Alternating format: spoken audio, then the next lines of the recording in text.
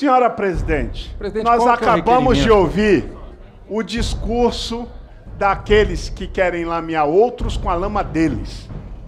Todo o Brasil sabe que quem profissionalizou a corrupção nesse país, que ela sempre existiu, foi o desgoverno que passou 16 anos instaurando corrupção, quebrando a Petrobras, fundos de pensão. Aí vem pra cá com esse discursinho agora de que não tem nada disso. Saquearam tudo, roubaram tudo, quebraram o país, quebraram a nossa economia e vem pra cá com esse discurso de que não tem nada a ver com isso, que tem que soltar bandido, tem que soltar quem tá na cadeia. Não!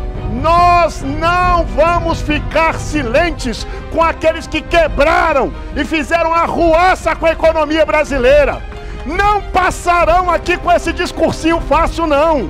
O Brasil sabe bem o que aconteceu nos 16 anos que essa quadrilha se instaurou no palácio do outro lado, cooptou este parlamento com mensalão, com petrolão e tudo que era ão que existia, e agora querem vir para aqui dizer que não tem nada com isso, que eles é, são os pais dos pobres.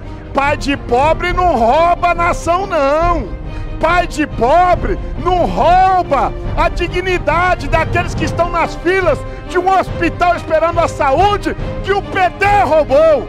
Que os aliados e puxadinhos que estão aqui obstruindo essa, essa votação, PSOL, PCdoB, tá lá, tá lá, é só olhar no painel. Roubaram a saúde dos brasileiros, roubaram a educação, ficam falando na educação, roubaram tudo.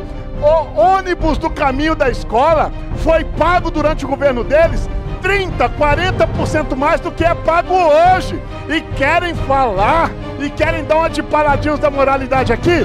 Não, não, aí não, por favor. Nós precisamos colocar as coisas nos devidos eixos.